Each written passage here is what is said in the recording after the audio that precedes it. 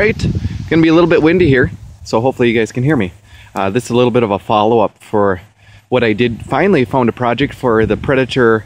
Uh, it would be the 212cc, um, also known as I think six and a half horse Honda Clone. So again, I know it's windy, so hopefully you can hear this. I'm just gonna do a little bit of a walk around what I ended up doing with one.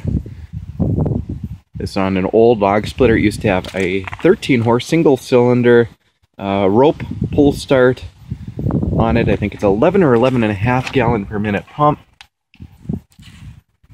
An old one.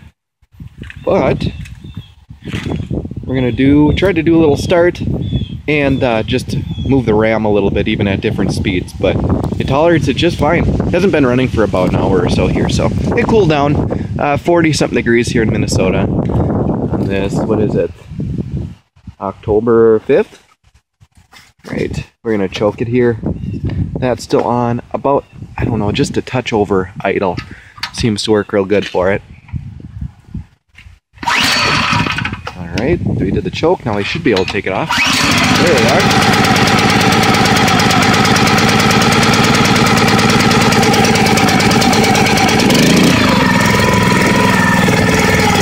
I said that backwards with the choke. Choke's now off.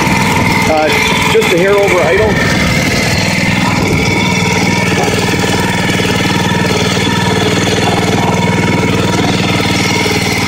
Okay. I'll turn it up a little bit higher.